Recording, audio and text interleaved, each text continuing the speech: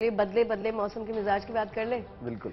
देखिए दिल्ली का मौसम थोड़ा सा सुहावना हो गया है। बारिश के बाद 15 अक्टूबर से पहले ही दिल्ली में ठंड का एहसास भी होने लग गया है। तापमान में भी इसके साथ ही गिरावट देखने को मिली है। बिल्कुल देखिए तापमान में गिरावट के आसार पहले ही नज़र आ रहे थे। अब तो साफ़ तौर पर नज़र ही आने लग गया है। दिल्ली एनसीआर के कई इलाकों में घना कोहरा देखने को मिल रहा है। सुबह से ही अगर हम नज़र डालें तो देखिए मौसम विभाग की अगर हम माने तो दो दिन में तापमान गिरावट ऐसा ही बरकरार रहेगा और बीते चार दिन से दिल्ली एनसीआर में सुबह और शाम ठंड का एहसास होता रहेगा।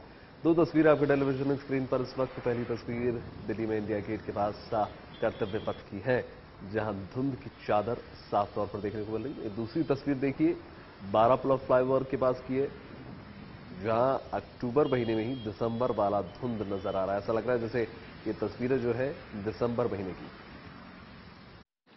बुधवार की सुबह राजधानी दिल्ली और एनसीआर इलाकों में फॉग आसमान में छाया रहा।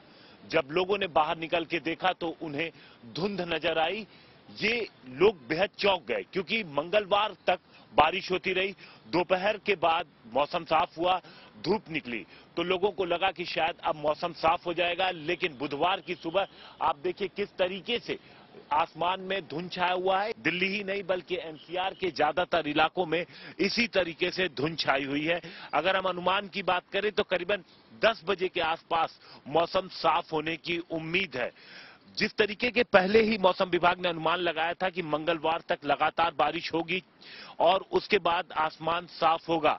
तो मंगलवार की दोपहर आसमान साफ़ तो हुआ, धूप निकली भी, लेकिन बुधवार को एक बार फिर से मौसम ने करवट ली है। आप देखिए किस तरीके से दिल्ली और एनसीआर के आसमान में धुंध छाई हुई है।